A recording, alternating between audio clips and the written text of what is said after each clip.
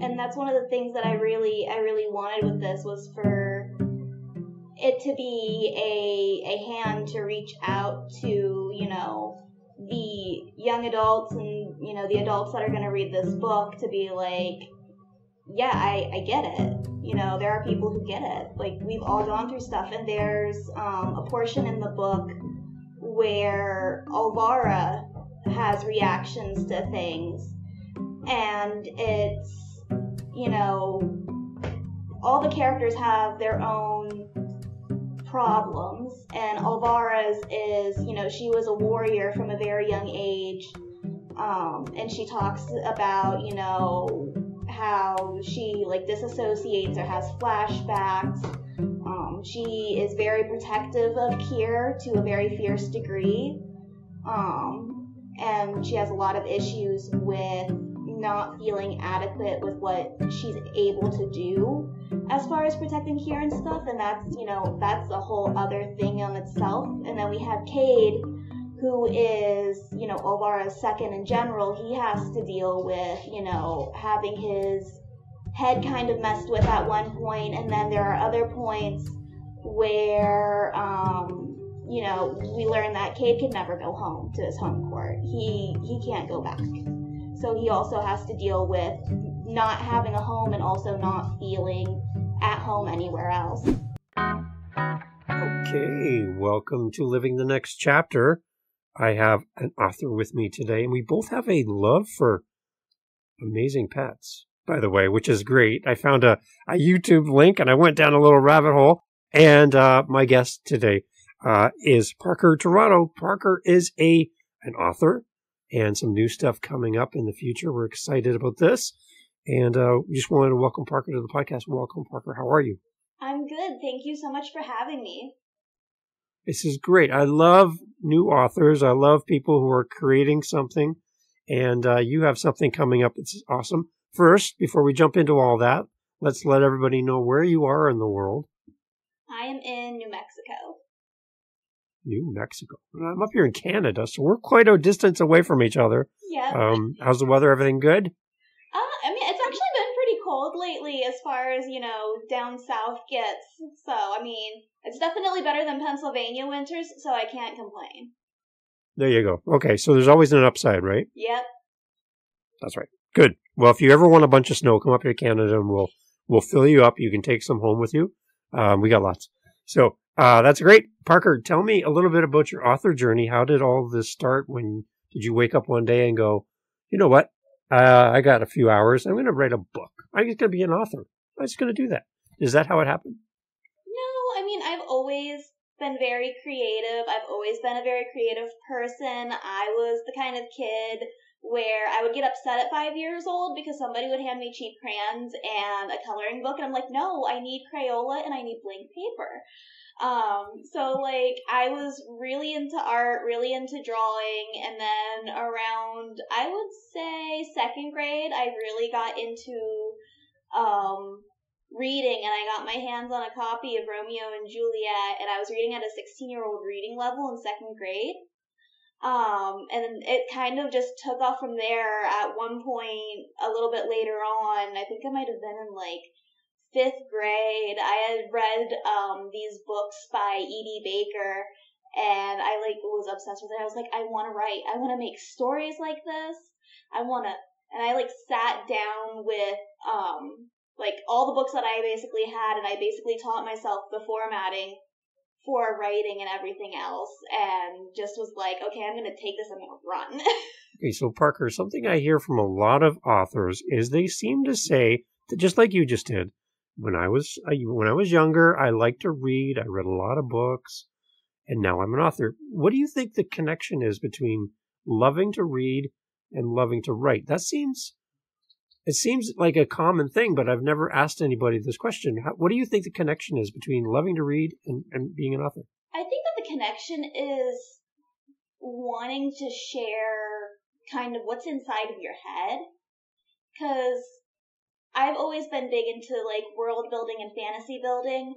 And for me, when I had started this project, I was like, I'm going to write it. I'm going to write it primarily for myself, but I also want to share everything that I've created and everything that I have seen in my head and everything else, I want to share that with everybody else. And I really think that's what the the um, connection is because when you're reading, you know, you get sucked into that book that you're reading, and with you know writing, it's kind of like the opposite of well, I'm going to bring everybody into my world. Yeah, and then when you're writing fiction, that even opens up mm-hmm. another door to go places that you can't go in mm-hmm. your normal existence, everyday life. You can go anywhere you want. There's no rules, right? So I like I like that side of, of writing as well. Yeah. So tell me about some of the authors that inspire you, either growing up or currently, somebody that you've always looked up to and you're like either you want to write like them or they just there's just something about them that makes you a better person reading their book. Who, who really inspires you? Christopher Paolini of the Eragon series. I've said this I don't know how many times, but that was one of my biggest things growing up was the Eragon series because I like characters that I can relate to. And, you know, with Eragon, you have this, you know, rural farm boy who, um, you know, his existence basically changes the course of everything. Like, if he didn't exist and, you know, find the dragon egg and go on this amazing journey, you know, things wouldn't have changed for the better. And I like, I find that a lot in a lot of the books that I enjoy, like, uh, Court of Thorns and Roses by Sarah J. Maas, the main character, Feyre.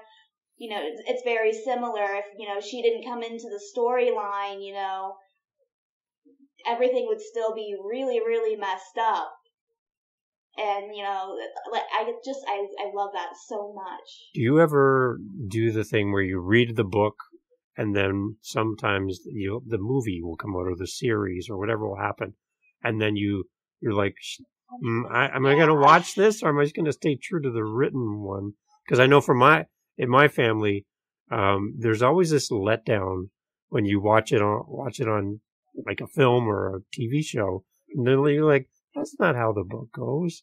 No, no, no, no, no. The book goes left here. It doesn't go right. What are you doing? Does that happen to you? yeah. Okay. It, it happens to me all the time to the point where we'll we'll watch the movie, right? I'll be like, oh my god, I love this book so much, you know, like um like with the Eragon movie or like Lord of the Rings and stuff. Um and I'll sit there and I'll just be like, that's not how it happened. that's not how it happened. And then my wife will me and be like, listen, you wanted me to watch this movie with you. If you want me to sit here and watch it, you're gonna have to shut up. Yeah. yeah, yeah, that's that sounds very familiar. Um, that's how it is in our home too. So, yeah, because you're like yelling at the screen, like that's not right, you know. So, um, yeah, I wouldn't. I don't think that we would do well in a theater because we'd be yelling up, and people are like, "Would you be quiet?" You know. So, but it's, it's not right. It's not how it goes. Anyways, um, yeah. So do you think did you do you think your book would would someday end up on a screen? Is it kind of written that way, or what do you think? I mean, I would I would very much love it if it became you know a movie or like a Netflix series and stuff.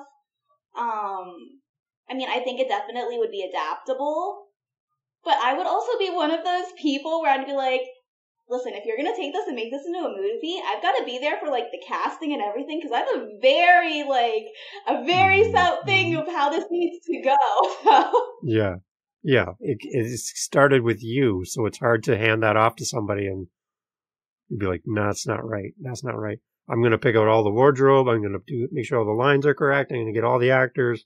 I'm gonna make do everything. Yeah, that's that's kind of how I would do it too. Um, okay, so we've kind of yeah, right. I read. I you know this is all my book coming to life on the screen.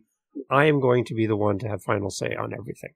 Yeah. Right. They would be so, like, "We're going to adapt it to the script." I'm like, "You already have the script. It's right here." Yeah, yeah, yeah, right here. yeah, yeah. And you can buy it from me right now if you want to buy a copy. Um, I love it. Okay, so so we've kind of talked around the book a little bit.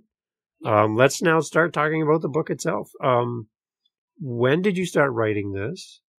I um, let's start with that. I started writing it. I think it was like mid or late last year. Okay. Um, and it honestly, it's kind of taken over my life a little bit. Cause like I was I was posting on Facebook, I'm like, I like fantasy an absolutely normal amount, and it's like the most recent purchases I've made, and it's just like fantasy clothing and accessories. There you go. You- You're getting ready. You're just start getting ready for the movie, right? You're just getting ready.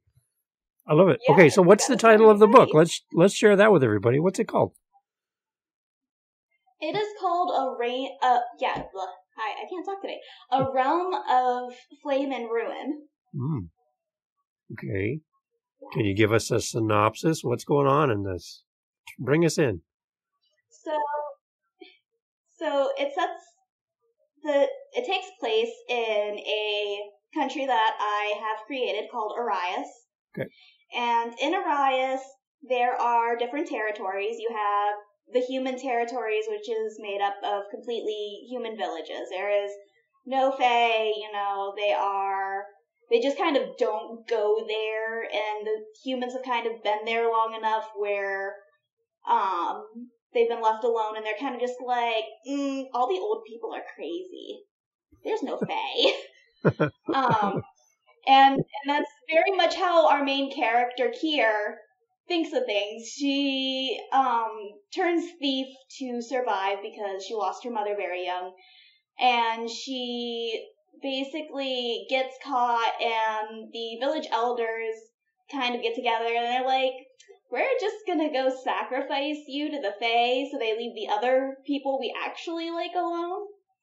So she's taken out into Fae territory essentially, and she gets taken into my adaptation of the Wild Hunt, where the Fae hunt human for sport. Because mm-hmm. in the world that I've created, humans are referred to in the book as livestock with the intelligence to communicate. Wow.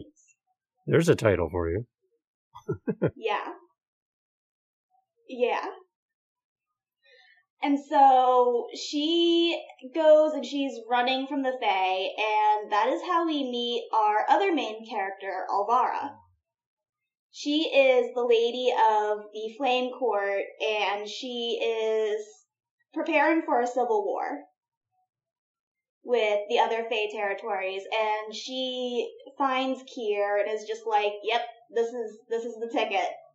So she scoops Kier up and takes her into the Court of Flames and is just like, Yeah, you're part of this whole mess that I'm creating now, and I'm gonna give you a really important position, and all the other courts are just appalled hmm. by it.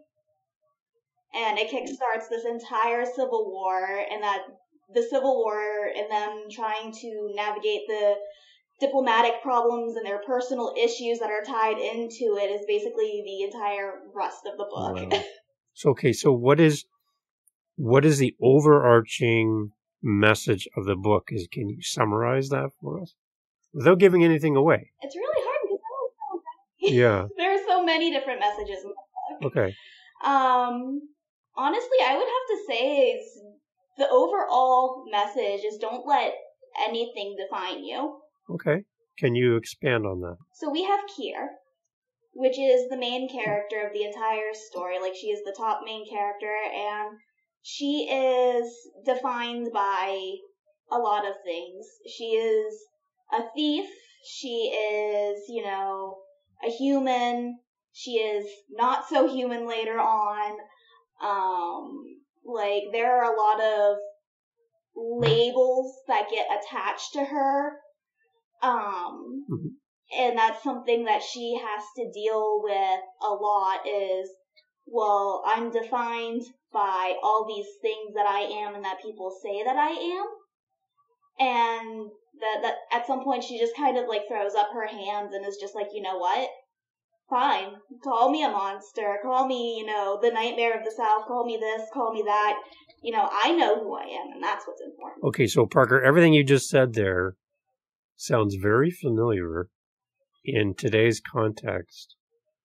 Is there is there any part of this story where you see yourself, you see yourself in a mirror and go, "Aha, I identify with this character," or are you kind of blended through the entire book? Well, the funny thing is, actually that Kier is based on myself and my own struggles, and Alvara is actually based on my wife.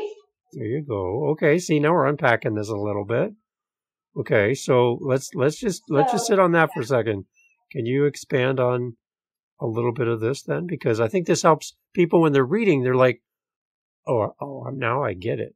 I, I get I get where we're going here." So let's talk about that a little bit more. What are some of these struggles? So I did not have the greatest upbringing. I was brought up in a household where abuse of all sorts were normal.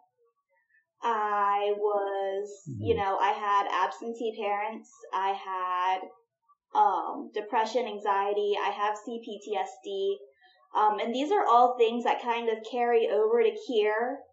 Um, Kier does not have a father that she knows of. She lost her mother very young. Um, Kier is traumatized by all of the events of her life, and when Kier has, you know, panic attacks or uh, trauma responses that are actually written throughout the book, those are actually how I experience things, and I writ I wrote that into the book not just for, you know, authenticity's sake, but to show that, you know, it's when you go through shit, you, this is what happens and this is kind of how you deal with things afterwards. So this is not just a book because you wanted to write a book, right? This is not just some throwaway story that you just had sitting in your on your desk one day and you're like, I'm just going to write a book because I'm bored. There's something to this, right? There's a message Yep. here. When I originally started writing this, Right. um, it was actually part of the process of healing my inner teen. Um, so I've been going through therapy and everything else for a while now, and um, you know, I did the whole heal the inner child thing, but like the inner teen was still angry. The inner teen was still, you know, really upset that nobody believed that we could do, you know, the things that we said we wanted to do. No one helped us do the things that we said we wanted to do. So we were like, okay, we are old enough now and we have the ability now. We are going to go and we are going to do all the things that we said that we were going to do at 14 and we're going to do it with pride. Okay, so I got a, I have a, a little bit of a curveball question for you, Parker. If you were listening to this podcast, based on who you are and what you've been through, and you're listening right now, okay, you're not the one talking, but you're the one listening to our conversation, what would you need to hear right now? And how would this book help that person? That you're not alone. You're not alone as alone as you think that you are. Um, depression and trauma, they're a very lonely existence. And my book is very much the fantasy companion to that because it shows that because I didn't know that a lot of the things that I did or the things that I reacted to the way that I did were because of the things that I went to. I was floundering around in the dark. But I have a, a hero, you know, and she's she's messed up. But she's still trying to do the right thing. And that sounds like life, right? From all different perspectives, we're all kind of living this messed up existence, all of us, to some degree. Some some have it a lot worse than others, obviously, but we're all kind of living this. So I can I can anticipate Parker that people are going to be able to identify with some of the characters in this in this book, and then get get even get inspired maybe, and even just kind of some help and support to fe- not feel so alone just by going through and reading this book. And that's one of the things that I really I really wanted with this was for it to be a a hand to reach out to you know the young adults and you know the adults that are going to read this book to be like yeah I I get it. You know there are people who get it. Like we've all gone through stuff. And there's um a portion in the book where Alvara has reactions to things.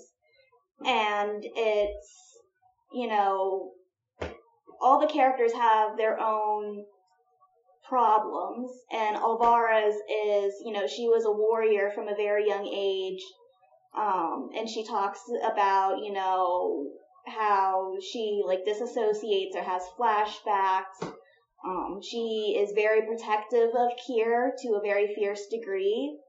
Um, and she has a lot of issues with not feeling adequate with what she's able to do as far as protecting Kier and stuff, and that's you know that's a whole other thing on itself. And then we have Cade, who is you know Alvara's second in general. He has to deal with you know having his head kind of messed with at one point, and then there are other points where um, you know we learn that Cade can never go home to his home court. He he can't go back.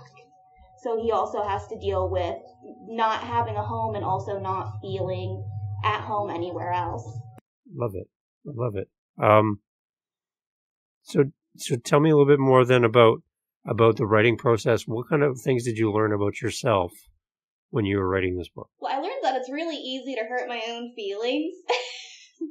Because I'll sit there. Oh, oh, wait. Okay. Wait, back up. Do that. Say that again. What, what do you mean by that? So what I mean I get I get really attached to the characters, not just because they're kind of self inserts, but because I just really get attached to a lot of the characters that I make in general. So they kind of take on a life of their own. So I'll be writing, right, and I'll just be like it's like a movie playing in my head, and I'm just dictating what I'm seeing. And like, you know, there'll be a really emotional scene and I'm just sitting there and I'm crying and snorting, and I'm just like, I can't believe they did that. So you're kind of a spectator for your own book. Mm-hmm. That's an interesting way to look at it. I like that. That feels like more fun for you. It, well, fun and sad at the same time, but yeah. Like I had somebody who had asked me um, if I plan out my plots and if I, you know, if I plan things out to like the little details and stuff, and I was just like, I mean, there are some like phrases or there are some uh, scenes that I'll like think up of but like when I'm writing, I write very organically. So it's like me having music on that's probably too loud. You know, I will just sit there and I'm just like daydreaming and my, you know, I'm tapping on the keyboard and I'll be like, ooh, this is a really good spot to put this scene, so I'm gonna put it there. But like other than that, I don't I don't plan anything out. The story just kind of goes how the story goes. Did you have any point when you're writing when you got a little bit stuck and you didn't know where to go next? Oh my goodness. Yeah, I actually had one where I was like, it was like the midpoint of the book, I think. And Kier was just kind of fed up with everything and just was like, you know what, I'm done. I can't do this anymore. And she goes home to the human lands. She goes home to the human territories. And she doesn't know what else to do, but she can't be there. And I really was not sure if I liked those two scenes, not only because it was emotionally challenging, because I had to stop at one point because I had gotten myself so like upset and depressed during the process. I was like, I, I just can't write anymore right now.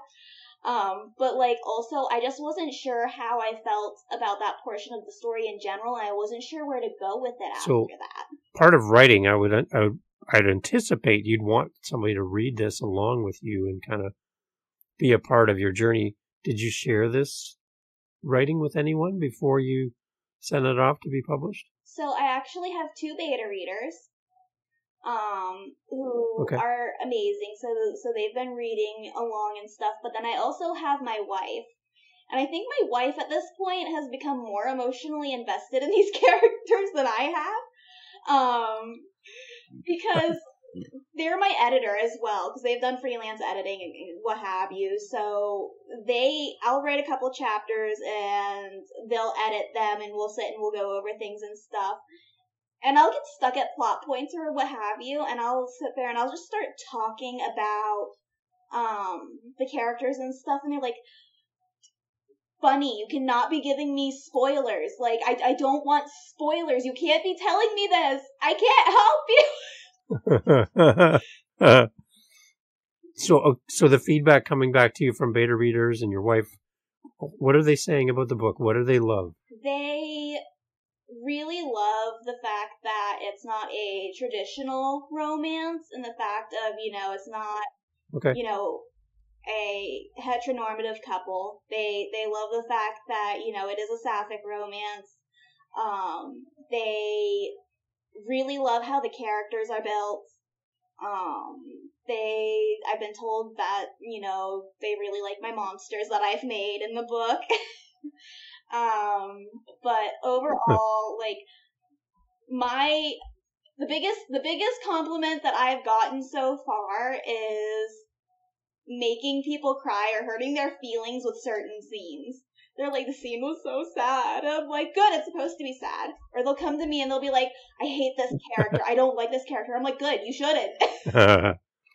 okay, so does this open the door once this is out? Like, it's not even as of recording time. It's not even available right now to purchase today. It's coming, and we'll talk about it in a minute. But um, does this writing this book does this open the door for you to, to more? Or what do you think? Have you been bitten by the author bug? So I've been thinking about it quite a lot, and I've decided that I'm going to carry uh, this book over into a series. So we're going to have the Realm series. But recently, I've also been looking into Kindle Vella. I'm not sure if you're familiar with it, um, but No. it's uh, a serialized uh, publication method. So you might be familiar with more with other serialized things like Webtoon or what have you, where you know an episode will come out and you pay coins and you you know you read it.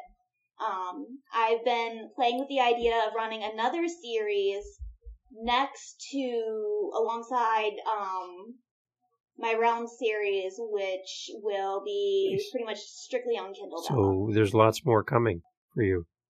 There's lots more coming. There's lots more coming. Wow, it's amazing.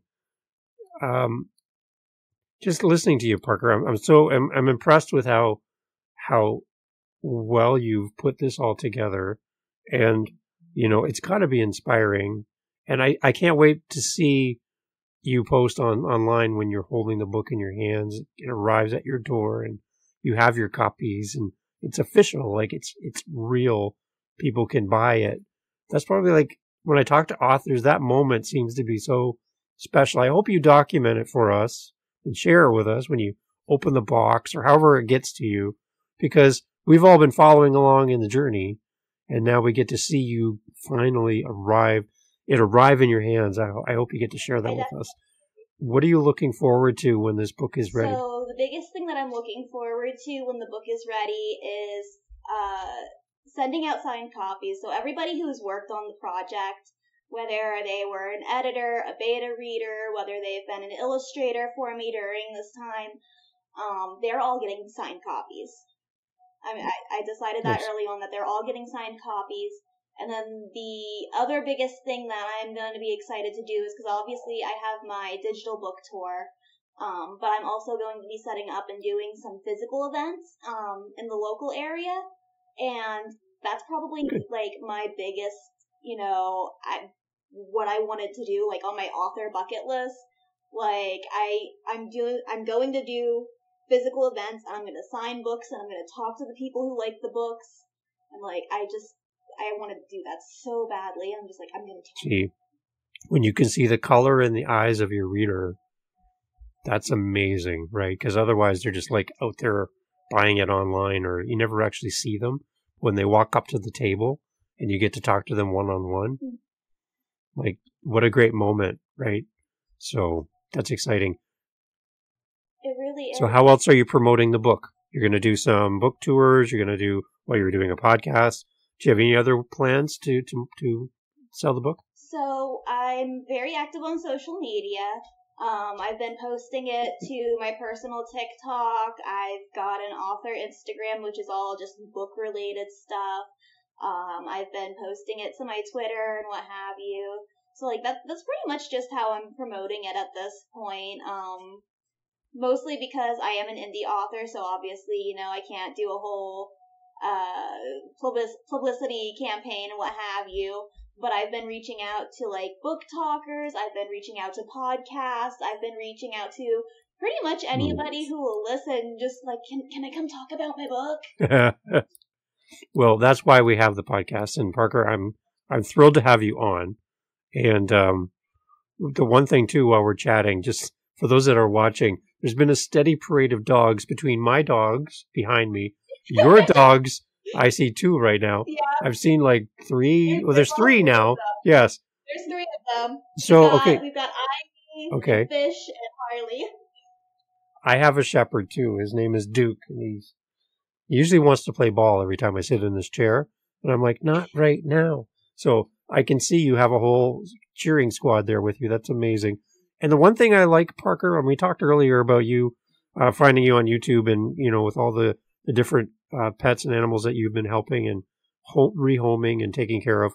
That tells me a lot about you, because people who love animals and animals who love people like you that's a great uh, that's a great way to tell if you're a good person or not because um, animals just have this sense about who they trust and who they you know who they want to be around and to see these you see your pets coming through the doorway it uh, it says a lot about you and um, I just wanted to kind of acknowledge that because um, I get the sense from you that you're you're somebody who really cares a lot about people and you really want I think in this book you really want to help some people like I said, you didn't write this book just because you were bored on a Saturday and you had nothing to do. You have a message, and your message, Parker, really matters. And I'm really hoping that this book takes off for you and that people buy the book. They come back, they give you the reviews online or wherever they're going to purchase it, and they really come out and support you and, and encourage you to keep writing because you're doing something I've never done, and I'm I'm inspired just talking to you. So this is really really great. How do people find you, Parker? Uh, And then, like the you said, a pre-release date's coming, um, and then you have kind of an idea of when the book's going to be ready. Our show notes will be up to date, whether you listen to this like soon or in the future. Our show notes will be up to date, so people can come and buy the book. Just give us a little bit of details about the timing of the book and everything, so people who listen to the podcast soon will know what's happening. So around February 14th, we're going to be having our cover reveal, which is where um, everybody's going to be able to see the official, you know, front cover of the book, um, which I'm really excited for because one of my favorite illustrators is doing it. They've been doing Nice. such an amazing job. Um, and then shortly after that, we're going to have pre-orders. Um, so that'll be opening up probably around the end of February and then beginning of March, I'm hoping to have it officially come out. Okay. Where is it going to be available to purchase? So it's going to be available through Amazon in both digital and physical copies. And then I'm also looking into having it on like iBook and Google Book because I want it to be as widely available as possible. Um, so that way people aren't just restricted to, you know, throwing money at Amazon. Okay. Yeah. Is there going to be an audio version of the book at all? I would love for there to be an audio version of it. Um, it kind of really depends on how things go for the book. Um, I would, I would super, super Okay. love for there to be an audio version, but one thing that I am currently working on is I am looking into like audio clips, uh, of the book. So like very, uh, emotional or like, you know, some of my favorite quotes from the book um they'll probably be put into like audios for like my TikTok and what have you. Okay, great. So people can get a sense of the book and hear a little bit. That's great. That's awesome. It's a great idea. Mhm. Good. And then let everybody know, too, Parker, where can everybody find you? Where are you most active? If I have a question and I want you to, and I, I would love to hear back from you, where should I go first so that I can get your attention? So if you absolutely want to grab my attention, you should definitely go through Instagram, uh, which is Parker underscore Terrato, and then also Twitter, which is um, Bunny Boy, spelled B O I ninety three. Uh, I'm also very active on uh, TikTok, which is also the Bunny Boy ninety three. Um, I have a lot of interactive stuff on there, and you can embarrassingly see some of my early character creations and what have you that I've done through uh, TikTok.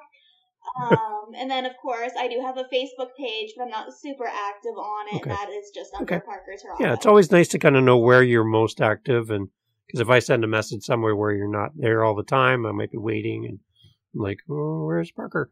Um, but yeah, if I know where you are, then I can go there first. That's awesome.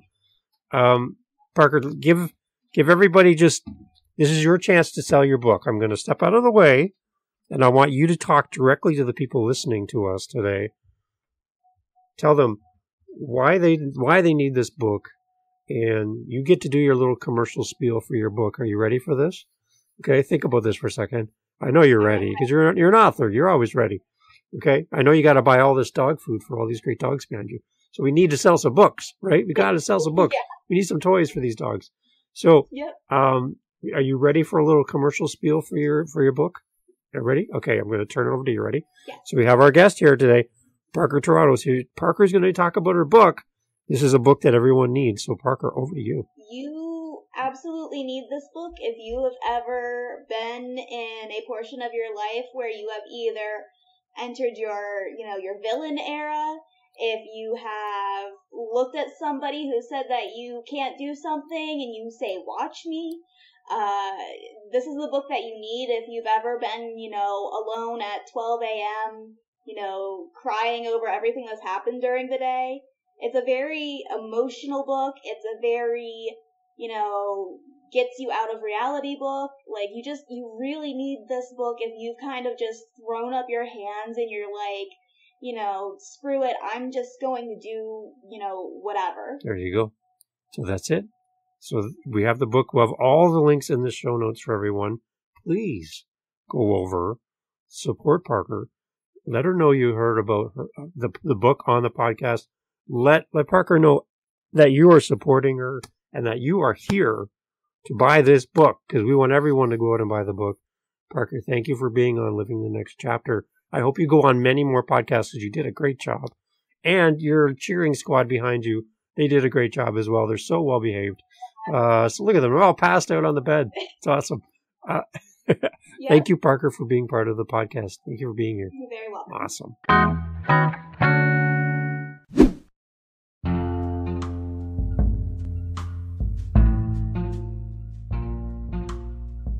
Thank you for being part of living the next chapter. Hey, look at we're we're having such a great time talking to authors around the world. If you are an author and you would like to be on this very show, I would love to talk to you. LivingTheNextChapter.com, LivingTheNextChapter.com, Living the Next Chapter.com is the best way to get in touch with us. There you'll find our social media and blah, blah, blah, la di da, and such.